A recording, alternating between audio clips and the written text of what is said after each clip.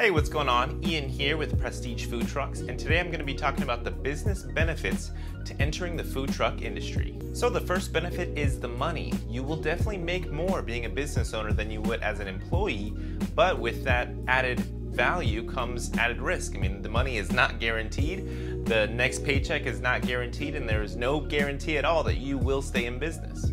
Next, you will learn the ins and outs of running a business. Running a business is not an easy thing to do. There is a lot of things that you need to be able to know in order to run a successful business. For example, labor costs, managing that, managing inventory, managing your marketing budget, and being able to grow your business and get your brand out there. A lot of things go into running a business, and you will definitely have a great course in business when you start your first business.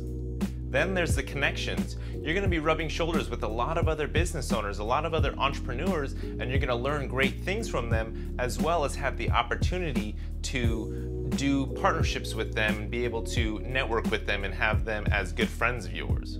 And my final point is that you'll be launching your entrepreneurial career. That is a very exciting thing. You will be starting your own business. If this is not your first business, then it'll be an extension of the current business that you have, I'm assuming. But if this is your first business, then you will be launching your entrepreneurial career. And even if it doesn't go great, you will still learn a lot and make a lot of great connections with people in the industry and other business owners. Well, those are the business benefits to entering the food truck industry. I hope this video was helpful. If you have any questions, feel free to reach out to us on Facebook or you can send us a message at info at prestigefoodtrucks.com. Thanks so much for watching.